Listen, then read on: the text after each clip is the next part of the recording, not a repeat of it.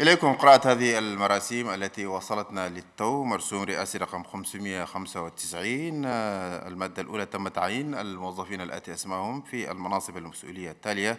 بوزارة البريد والتكنولوجيا الحديثة للمعلومات. مكتب المدير مكتب الوزير مدير المكتب عبد الحادي إدريس علي المستشار الفني هارون محمد بدوي المستشار القانوني يونوجيم كالما المفتشية العامة المفتش العام محمد صالح إبراهيم المفتش العام أو مفتش الخدمات علي ميدلاي. الأمانة العامة الأمين العام حسين إبراهيم عبد الكريم الأمين العام النائب جرابيجي كوندادي إدارة التكنولوجيا المدير محمد صالح محمد إدارة البريد المدير عبد السلام صالح إدارة الموارد البشرية والمعدات المدير نورجيجي نازير إدارة الشؤون القانونية والنزاعات المدير علي محمد زين علي فاضل إدارة الدراسات وتخطيط المشاريع المدير حسن دوسة حسب الله حرر في جمينة في الخامس من يونيو 2017 توقيع رئيس الجمهورية إدريس زيبيتنو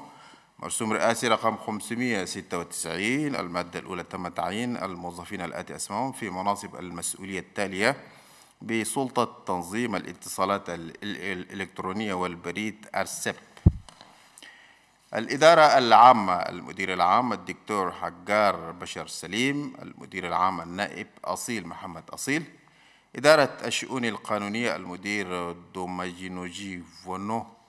إدارة الرقابة والتفتيش المدير علي صديق أدم إدارة الراديو والتطبيق المدير بوبي بوكا إدارة التنظيم البريدي المدير عمر إبراهيم إدارة اليقظة والتكنولوجيا والدراسات والمشاريع المدير آدم جمعة إدارة الإعلام والتعاون الدولي المديرة صفية محمد يوسف إدارة الموارد البشرية المدير وارو محمد نور ملاي. إدارة الشؤون الإدارية والمالية والمعدات المدير عمر طوكا المادة الثانية على بريد على وزير البريد والتكنولوجيا المعلومات الحديثة وزير المالية كل مكلف حسب تطبيق تنفيذ هذا المرسوم الذي يسري تطبيقه منذ تاريخ التوقيع عليه. ينشر ويسجل في الجريدة الرسمية للجمهورية حرر في أنجمنا في الخامس من يونيو 2017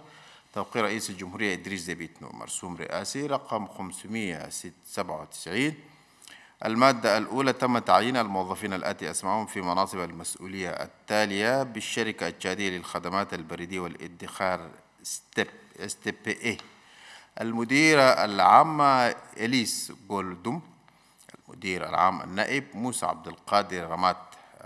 تحرر في جمينة في الخامس من يونيو 2017 توقيع رئيس الجمهورية إدريس زبيتنو مرسوم رئاسي رقم 598 المادة الأولى تم تعيين الموظفين الآتي أسمائهم في مناصب المسؤولية التالية بالمدرسة الوطنية العليا لتكنولوجيا المعلومات والاتصالات إناستيك الإدارة العامة المدير العام الدكتور إدريس صالح بشر الأمانة العامة الأمين العام مو بنك تابا إدارة الدراسات المدير الدكتور عبد الله الشايب إدارة الشؤون الإدارية والمالية والمعدات المدير الحاج موسى ديالو. حرر في جمينة في الخامس من يونيو 2017 توقيع رئيس الجمهورية إدريس زبيتنو مرسوم رئاسي رقم 599 المادة الأولى تم تعيين الموظفين الآتي أسمائهم في مناصب المسؤولية التالية بوكالة تطوير تكنولوجيا المعلومات والاتصالات أديتيك.